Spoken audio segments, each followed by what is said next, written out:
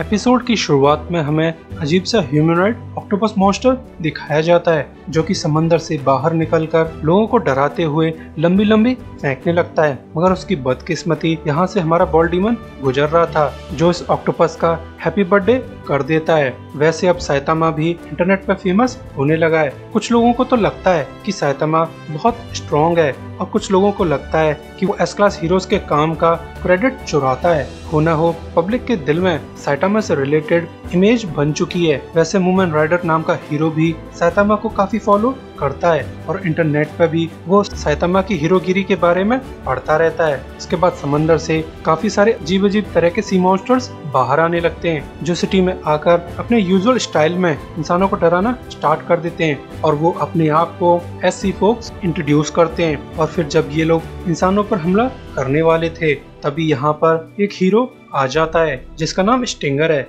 और ये क्लास ए हीरो है और इन महाशय का वेपन एक तरह की झाड़ू है। वहीं सैतामा के घर पर जैनोस सैतामा को बताता है कि मास्टर जी, अब आपकी rank class C level two हो गई है और अब आप थोड़े ही दिनों में क्लास बी हीरो बन जाओगे। और ये जानकर सैतामा भी काफ़ी खुश है क्योंकि बी क्लास हीरोज को सी क्लास हीरोज की तरह वीकली बेसिस पर मैंडेटरी हीरोगिरी नहीं करनी पड़ती और बी क्लास हीरोज के पास काफ़ी ज़्यादा फ्रीडम होती है। मगर तभी टीवी पर न्यूज़ आने लगती है कि सिटी में काफ़ी सारे सी मॉन्स्टर्स आ गए हैं और ये मॉन्स्टर्स बहुत तबाही मचा रहे हैं और इस वक्त इन मॉन्स्टर्स का सामना हमारा बहादुर हीरो स्टिंगर कर रहा है। मगर अब वो लड़ते लड़ते काफ़ी ज़्यादा थक चुका है। सो अगर कोई हीरो सिटी जे के पास हो तो प्लीज़ जल्दी से हेल्प करो। वहीं अब तक स्टिंगर ने अपनी झाड़ू से काफ़ी सारे मॉन्स्टर्स को मार दिया था। मगर तभी यहाँ पर एक बड़ा सा मॉन्स्टर आ जाता है, जो एक ही पंच में स्टिंगर को केओ कर देता है। वहीं साइतामा और जेनोस भी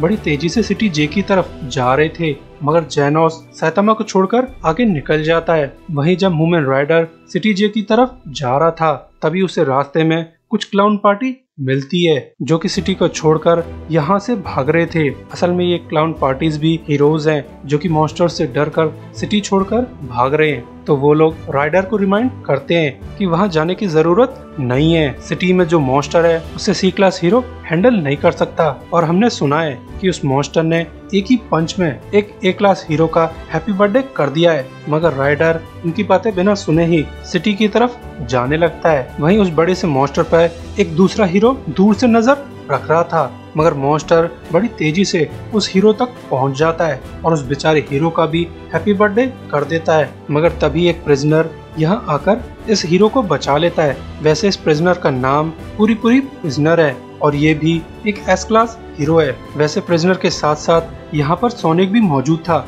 यहाँ पर हमें क्लियर होता है कि ये दोनों अभी अभी जेल तोड़कर भागे हैं। तो सोनिक पूछता है कि तुम तो एक हीरो हो ना? तो तुम जेल में क्या कर रहे थे? तो प्रिजनर प्राउडली बोलता है कि मुझे ब्यूटीफुल लड़कों को छेड़ने की वजह से पनिशमेंट मिली है और मुझे उम्र कैद सुनाई गई थी। मगर इस मोस्टर अटैक में एक ब्यूटीफुल हीरो पिट रहा था तो मैं जेल तोड़कर इस हीरो को बचाने आ गया और फिर वो सी मॉन्स्टर भी यहाँ पर आ जाता है तो पूरी पूरी बैटल के लिए रेडी हो जाता है और फिर इन दोनों मॉन्स्टर्स के बीच में बड़ी तगड़ी फाइट चालू हो जाती है और इस फाइट में पूरी पूरी के कपड़े फट जाते हैं। या शायद इस बियडो ने जानबूझकर अपने कपड़े फाड़े हैं और फिर ये नंगा सी मॉन्स्टर की खूब मार लगाता है। मगर उस मॉन्स्टर पर इन अटैक्स का कोई भी ज़्यादा असर नहीं होता। फिर मॉन्स्टर पूरी पूरी को बुरी तरह से कूटने लगता है और थोड़ी ही देर में वो पूरी पूरी को दूर उड़ा देता है। इसके बाद सोनिक उस मॉन्स्टर से पूछता है कि, तुम कौन हो? तो सी मॉन्स्टर बोलता है, मैं डीप सी किंग हूँ, यानी सी मॉन्स्टर्स का राजा।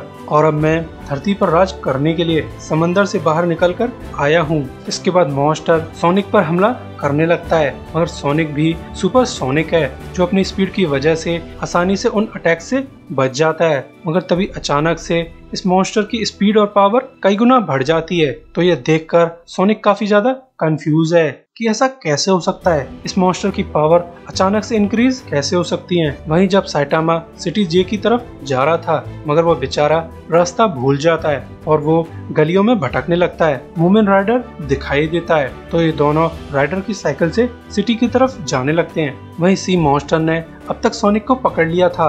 मगर सोनिक भी एक निंजा है। वो अपनी निंजा ट्रिक यूज़ कर कर उस मॉन्स्टर से बचकर निकल जाता है। वैसे भी सोनिक कोई हीरो थोड़ी है कि जो हीरो की तरह मरते दम तक लड़ता रहे। वो मौका पाते ही यहाँ से भाग निकलता है और वो जाते जाते जेनोस को रिमाइंड करता है कि तुम उसी मॉन्स्टर के पास मत जाओ। उससे लड़ने का कोई फ़ायदा नहीं। वो मॉन्स्टर बहुत ज़्यादा स्ट्रॉन्ग है, मगर जेनोस पर सोनिक की बातों का कोई भी असर नहीं पड़ता और वो सीकिंग की डायरेक्शन में जाने लगता है, मगर तभी उसे अंदाज़ा होता है कि सीकिंग असल में सिटी के शेल्टर की तरफ़ जा रहा है, जहाँ पर काफ़ी सारे ह्यूमंस मॉन्स्टर से बचने के लिए छुपे हुए हैं। वहीं शेल्टर में सभी लोग डरे हुए थे, मगर सीकिंग शेल्टर की रूफ तोड़कर अंदर आ जाता है। तो एक आदमी बोलता है कि, प्लीज़, हम लोगों को हट मत करो। हम लोग तुम्हारे सामने सरेंडर करते हैं। वैसे ये आदमी एक सी क्लास हीरो है और ये सी मॉन्स्टर से डर कर इस शेल्टर में छुप गया था। और तो और ये हीरो सीकिंग को देखकर अपनी पैंट भी गीली कर देता है।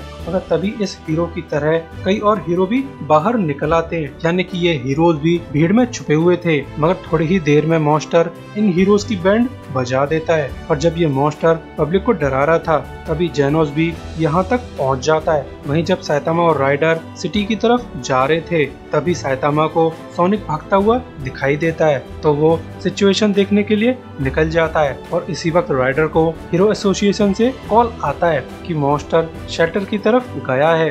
तो राइडर अपना फ़ोन फेंक कर यहाँ से तेज़ी से निकल जाता है। इसके थोड़ी ही देर बाद सैटामा यहाँ पर लौट कर आता है। तो उसे राइडर कहीं भी दिखाई नहीं देता। बस उसे तो राइडर का फ़ोन पड़ा हुआ मिलता है जिसपे हीरो का स्टाफ बोल रहा था कि मोमेंट राइडर तुम्हें शेल्टर की तरफ़ नहीं जाना चाहिए, क्योंकि उस मॉन्स्टर को तुम हैंडल नहीं कर पाओगे। और ये सब सुनकर साइटामा काफ़ी ज़्यादा सीरियस हो जाता है, क्योंकि अब उसे अंदाज़ा है कि नेक्स्ट क्राइसिस को सिर्फ़ वही हैंडल कर सकता है। तो वो शेल्टर की डायरेक्शन में जाने लगता है। इसी के साथ ये एपिसोड एंड होता है। सो अभी के good bye thanks for watching